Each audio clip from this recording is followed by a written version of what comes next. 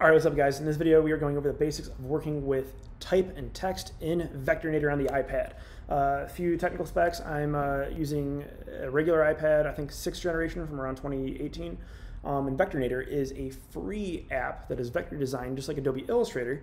So if you are like me, waiting for Adobe to put out the full version of Illustrator, um, hopefully in October on the iPad, uh, Vectornator is a great alternative. So let's get started.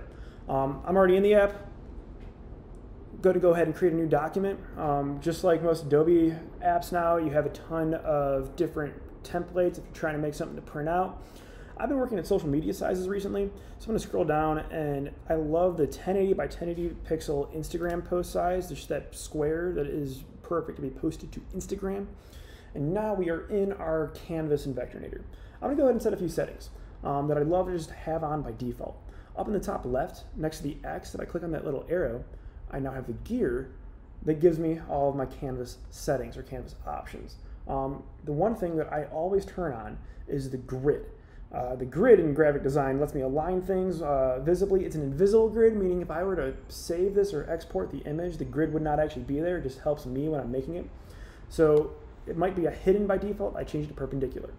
Now, speaking of aligning things, um, if I go to the bottom of the settings, down at the bottom left, and go to my snapping settings, I have all kinds of snapping turns on.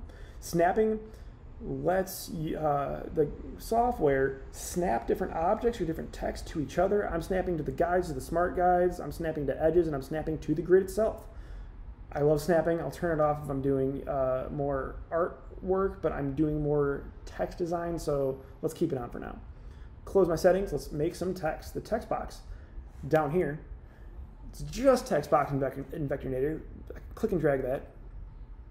Now I have this cyan text that's left over from uh, when I was editing it. So I'm going to go ahead and uh, type out my name, all caps, really loud, and we got to change some things about that. So I'm going to go ahead and click my arrow tool over on the left, grab my style tab up in the top right, and here I can change the color, the font, the size, the alignment, all that good stuff. So first things first, let's get it to be not this burning cyan color. Let's make it a, let's make it just black because I've got a pretty light canvas right now. Next thing is this text is enormous, so let's go ahead and drop the size right here. I'm just clicking and dragging on, on the size. And then third thing, I, I don't need Zapfino right now. Um, maybe I'm having like an Avenir next kind of a day. Or maybe I'm having a Futura day. I'm always having a Futura day if we're, if we're going to be honest about it. Um, what I like, what I'm using right now is Futura Bold, where it says type. That's the font weight. Um, so you can be medium, you can be medium italic. I'm using bold because I'm trying to yell right now. Um, and I got that. Now that I'm using a much smaller font, I can increase the size a little bit more if I was so inclined. Um, a few things to note is that the text box, if I were to change that, it doesn't scale the text, it just changes the box the text fits in. Um, good for like print design and stuff like that, whole separate conversation. I'm gonna go ahead and change the alignment. I can center my text, and then I can change things like the kerning, tracking, and line height. Kerning is the space between each individual letter, so I can squish the letters together. I kind of like that aesthetic. Tracking is the space between all the letters together. And then line height is also known as leading. Um, leading in like Adobe Illustrator or any Adobe software is the space between the base lines of text. A few other options. Um, the fit bounds to text size just squishes my text box to only be as big as the text that I have. I love doing that. Um, but let's say I want to be a little bit more flavorful with my text. The way text boxes work is all the text inside of a text box is only one font, so it's all Futura right now. But maybe I want Luke, my name, to be a complementary style like that Zapfino that I had at the start. I'm going to go ahead and widen the text box. I'm going to double click on there so I can edit the text. And I'm going to go ahead and backspace so it's just Jenner. Now I've still got a pretty big text box for just the one word, so I'm going to go ahead and hit fit bounds to text size. Recenter that, and I can see with my smart guides when I'm like centering it on the canvas. I'm to go ahead and make it a little bit bigger, just because why not? Max my canvas size out. Now I'm to go ahead and grab a new text box after fitting that one, a new text box. And in this one, I'll type out Luke, L-U-K-E, keep it lowercase. And I'll change this one to be a complementary. If Futura is really big, bold, geometric, let's grab like a thin, uh, I'm gonna grab that Zapfino. Let's grab like a thin handwritten one. Far too big, so let's go ahead and grab our style and drop it.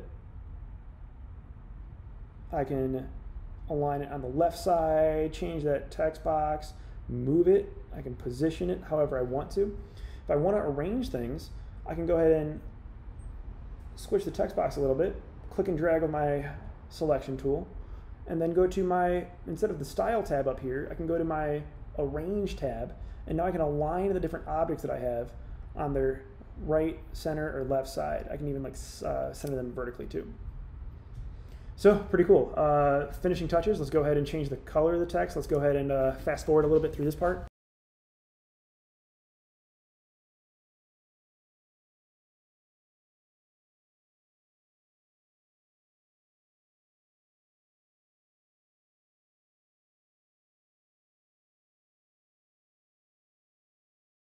Some finishing touches as I'm doing right here is just like adding some drop shadows. I can uh, move all the text together and create something that looks pretty simple, pretty elegant, pretty nice. Um, if I want to see the whole thing before saving it, I can turn off the grid momentarily. And now I've got something that looks pretty nice. So this is the basics of Vectornator. Again, it's an alternative to Illustrator if we're working on the iPads and we uh, are waiting for a full Illustrator to come out on the iPad. I'm really looking forward to that one. But in the meantime, Vectornator is an awesome, awesome alternative. Um, thank you for watching. Let me know in the comments if you got any questions. See you.